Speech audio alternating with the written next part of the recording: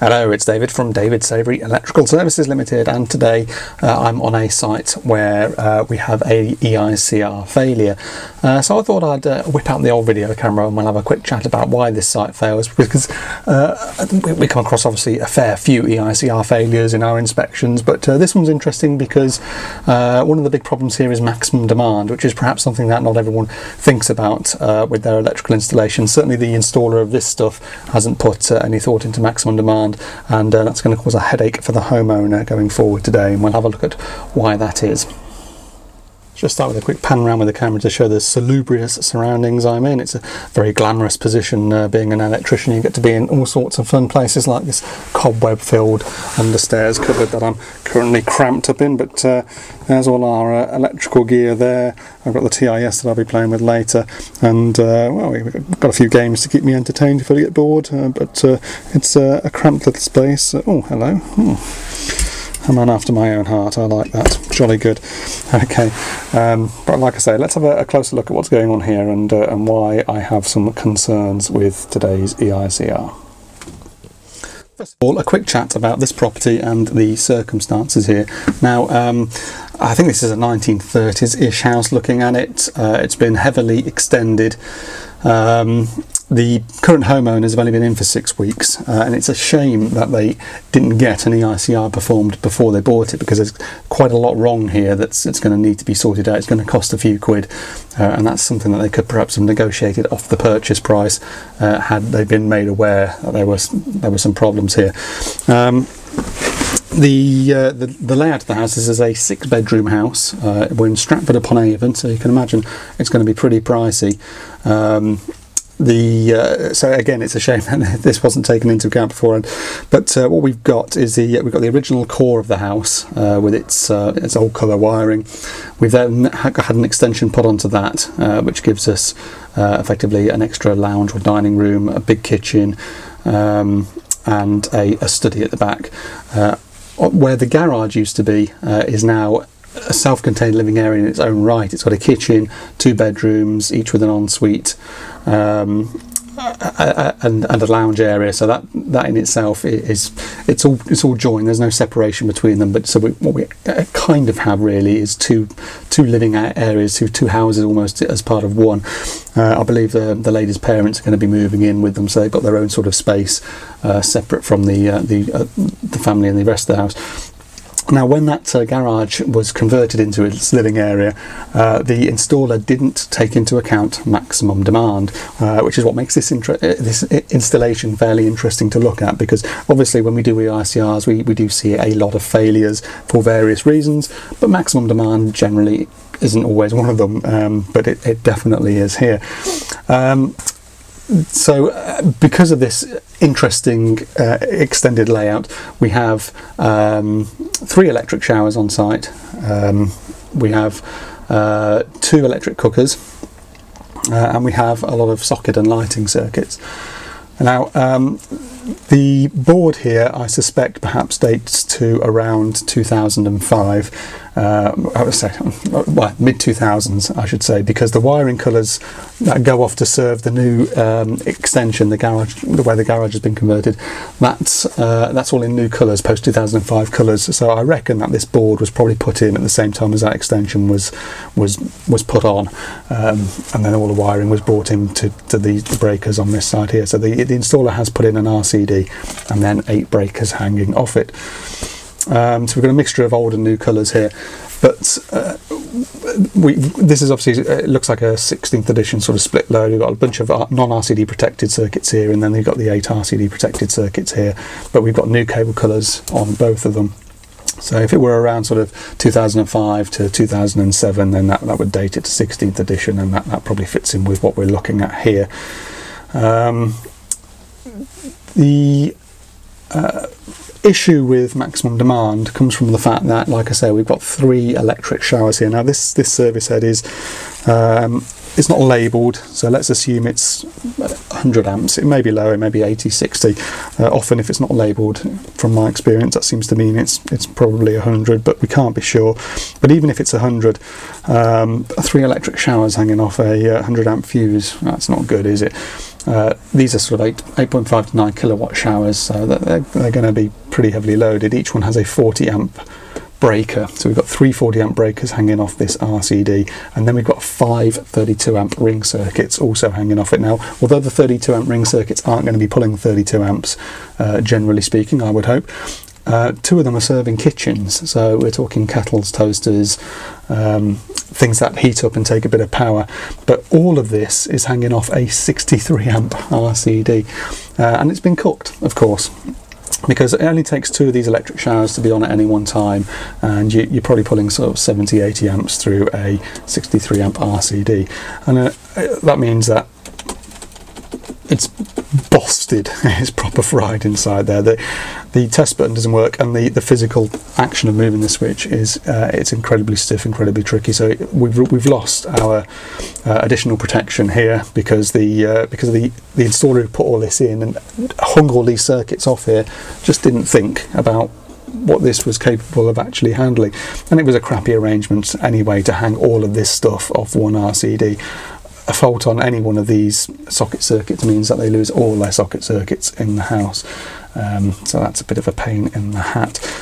Um, we can also see that the uh, service head itself has suffered from a bit of overheating over time because the uh, the pitch insulation inside has melted out of the thing. Um, it's, it's, not a great connection either on the uh, on the sheathing there to, to provide the air. So I think our best bet there is probably to get Western Power in to replace that with a modern TNCS 100 amp head um, to sort of resolve those issues. We're also going to have to get an isolator installed so that uh, we can change the board because I think a board change is going to have to happen. Whether we get awarded the work or not, I don't know. Someone else might have to do it. Um, can't say I'd be particularly looking forward to it because it's a bit of a pain, but uh, I think the best bet with this is to uh, split it off into a load of separate RCBOs so that we haven't got this heavy loading on one piece of equipment uh, in here. Uh, and you know, if, if you're in a million pound plus house, then it makes sense to spend a bit on the infrastructure of the thing, doesn't it? Someone might uh, might wrinkle their nose up at the cost of having to replace all this, but once it's done and done properly, it's, it's going to be done for a, a good long time. Now, it's interesting to point out as well that the, the previous electrician, if indeed he was much of, of one, um, he hasn't labelled the board. We've got next to no labelling on here. Only a couple of things are labelled: lighting, lighting, cooker, shower. And what does that say? Downstairs sockets do we find that was downstairs sockets? Nigel and I have actually had to go through and trace uh, a lot of these things. Um, uh, and yeah, that, that one that's downstairs sockets. Well, it's it serves part of the downstairs area, so it's not even covering all of it. Now, um, I, I, don't understand that. I don't understand how someone can put in a board, wire up the existing circuits that are on site, put in a load of new ones, and then not even go to the trouble of labeling what's what, even writing on it in pencil or anything. It's just just nuts, isn't it? Um, so Nigel and I actually came here to do this EICR uh, earlier in the week, and because there were so many circuits here, and there's another board in the shed as well that uh, contains sockets and lighting circuits. Um, we, we just we just didn't get finished in the day, so I've had to come back today to finish off. So I've got to now label all this up and uh, finish off the remaining testing and inspecting that we didn't get done the other day, which is interesting. Uh, people say to me, "How much do you charge for EICRs?" We charge per circuit. We used to charge per bedroom, so a three-bedroom house would be say 150 quid fixed price. Um, but then you turn up and you'd find the odd installation where uh, I think we went to one it had like 14 circuits in it or something like oh crikey well we're not going to make our money today are we so now we charge per circuit which in my opinion is fair because you're if you have an installation with um, more circuits, it's going to take more time, and therefore you want the, the cost on site to reflect that. You can um, you can charge per hour, of course, but people want to have some idea of what they're going to be paying. So if you don't know how long it's going to take, it's quite hard to to cost up. uh, if you're charging per circuit, you can at least say to them, well, count how many breakers you've got or how many fuses you've got, and that will give you a kind of idea as to what it's going to charge. Some may be spare, of course, and some may be uh, may have more than one circuit. But I'm going to pull the cover off this board. It's still on, so uh, don't tell anybody. I'm being very naughty. Um, but just to show you that in here, uh, circuit number one has two lighting circuits hanging off it, and circuit number three has four. So if we all four of those have got to be individually tested and inspected. So that's four circuits being charged for on that one breaker. Um, so you know, again, it, it adds up. Uh, how long does it take? Uh, we normally allow a day for domestic EICRs. Uh, in many cases, it doesn't take all day uh, if the place is easy to get around and it's small enough. Um, but uh, you know, there's always something else on our to-do list. If we if we get finished early, we can just take a look at the uh, the job log and say, right, okay, well, a couple of phone calls, we'll find someone who uh, uh, we have a, often have a, a, standby job in reserve for that day, something that we can potentially go to. Um, that, that, can take up the, the remaining hours of the day, uh, so we're not sitting around idly. Uh, in this case, um, we've already been here for one day, uh, and because of the size of the installation and the complexity and the fact it's been monkeyed with over the years, it's grown organically, and there's bits going off here and there, and there are faults. Uh, we've uh, it's taken a bit longer than than ordinarily it perhaps would, um, and I've had to come back today to, to carry on.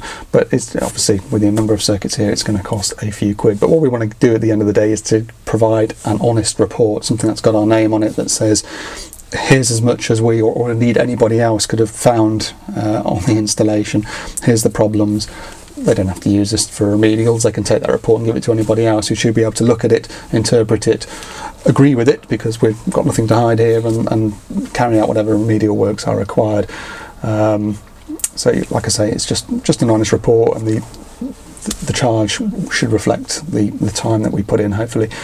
Um, this is interesting. We've got a, um, a 32 amp RCBO here, so this is obviously something that's been added uh, after the fact, um, sometime in the more recent years, uh, or certainly since this board originally went in. Um, it's in a different style as well, this Proteus breaker to the rest of them, but uh, the armoured cable here, it hasn't been terminated properly. The sheathing isn't earthed in there. It's just been just been chopped off and the cable's loose. Um, it's I believe the sheathing's earth at the other end, but it's not earth here. Again, it's just a crappy installation, and it's interesting because uh, they've used brown for neutral and grey for earth on the uh, armoured core here. Uh, on the armoured cable, uh, and at the other end, it's the other way around. We've got um, black for earth and grey for neutral, but it's not a reversal. And we've tested that out. So there must be some intermediate point somewhere where the two armoured cables meet and have their colours crossed over. Where that is, I don't know. We haven't found that yet. But uh, that's one of those things that, you know, it, it, looks like it should be quite a straightforward circuit to test and inspect, and then you find a little jolly like that thrown in just to. Um, just to confuse you and, uh, and ruin your day. Um, so yes, so interesting this one. Uh, like there's, there's a few other faults as well that uh, I've got recorded on the laptop there. We've got a couple of socket circuits with crap uh, IR readings. Uh, we've got uh, one of these rings has no continuity end to end on any of its cores, so uh, that's no good on a 30 turn breaker there, and goodness knows where the break is. and again, it's it's one of those where it, because it's an existing installation, because it's rather smartly done. There's some places being renovated, but there's other places that are don't need renovation. Uh, so it's very hard to start knocking holes in things to find where some of these faults are, and that's the pain with this sort of thing. It's trying to figure out what Joe Bloggs Electrical did 10 years ago and uh, how he managed to cock it up, and or, or Mr. DIY or whatever, and, and, figure out what they've done and uh, how on earth we're going to get around sorting it out. But um, because of the um, the issue of maximum demand here, uh, we're going to have to sort of say to the homeowners, well, look, you've got this problem where three electric showers uh, plus the rest of your loading all hanging off what may not even be a 100 amp fuse. It just isn't great. There are solutions around that. We can put in a shower sharing device, which um, will allow you to um, say if you've got one electric shower in use, it will prevent another one from being used got one of those myself, which I use on my electric shower and my electric car charge point because I've only got a 60 amp fuse in my head. People keep asking me about that. I must do a video on uh, on how that works. It's a good bit of kit that. So we can put in something like that potentially to try and uh, bring the maximum demand uh, down. Um, but uh, we, there's also other things we've got to do here. We've got 10 amp circuits for the lighting. Uh, it's all one mil cable, um, so that no derating factors have been applied. There's not a lot of like halogen downlights and things like that, so I don't know why they're rated at, at 10 amps um, because I doubt any of these circuits are pulling anywhere near that kind of loading. And these days, of course, you can retrofit LED everywhere and, and really bring that loading down. So those 10s would have to be changed to 6s. The RCD's got to be replaced. The duff ring has got to be changed out for a couple of 20 amp radials potentially or 16 amp radials. The showers have got to be split out in some kind of way to make sure that they don't cause the demand issue.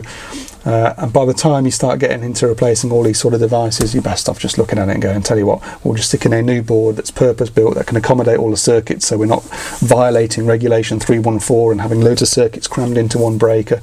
Um, and we'll just put in something that's actually fit for purpose, uh, probably RCBO based. Um, and you know, as I say, spend a few quid now, and, and it's, it's it's it's good going forward. Now we know that the RCD here is knackered, um, so what I'm going to do is I'm going to see, uh, we, everything's switched on at the moment, so I'm going to see in the normal operation what kind of leakage current we're getting. I'm, I'm going to use this clamp accessory that I uh, have for my TIS MFT Pro, which does uh, leakage, so we're going to put that huge bad boy on there, which uh, just fits on. If I scroll down, I don't know well you can see the screen on this thing, but uh, can you see that at all? It's hard to tell from the viewfinder. I'm going to leakage current. And we can see we've got uh, best part of an amp leakage current there. We know that the, in fact it's just hit one amp, the um, the insulation resistance is uh, is knackered on a couple of these circuits, so uh, no surprise there. Um, I've also got with me my uh, my little earth leakage meter here, so let's see if that, if that concurs. Put that on and switch it to the 2 amp range. Okay. Excuse me a minute, I'm going to take the, the camera off the tripod so you can see this. Uh, where is it?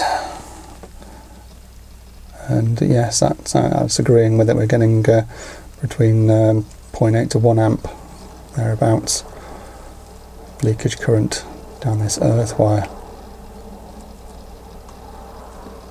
And of course the uh, the RCD, uh, the, these circuits are tested out okay for IR, but um, a couple of these, like I say, are, are, knackered, but the RCD is doing nothing about it. Um, and it would be a right pain in the arse if it did trip, to be fair, because all of the socket circuits are hanging off here. So, uh, like I say, this really needs to be split out into RCBOs. I've used my brother labelling printer here that uh, we looked at in a previous video to knock up some basic labels for the the, the various fuseways so that the uh, homeowner can at least relate uh, each breaker to a particular function or location. Um, obviously it's it is just basic labelling here but it, it's a moot point anyway because the whole bally lots will be coming out in due course I'm sure and of course they've got my schedule of test results to uh, to relate to as well and uh, the whole report will be coming with a, uh, a covering letter explaining in plain English just what I found uh, and what needs attention so uh, they can uh, hopefully book me or somebody suitable to, uh, to come and uncock this cock up. And there you have it really, not the most exciting video in the world I'm afraid, but I thought it was interesting to take a look at uh, how maximum demand had uh, played a part in the failure of this installation because the uh, installer a few years ago just hadn't taken it into account when he was happily slapping electric showers all over the place uh, on a 63 amp RCD and a 100 amp uh, at the most uh, service head.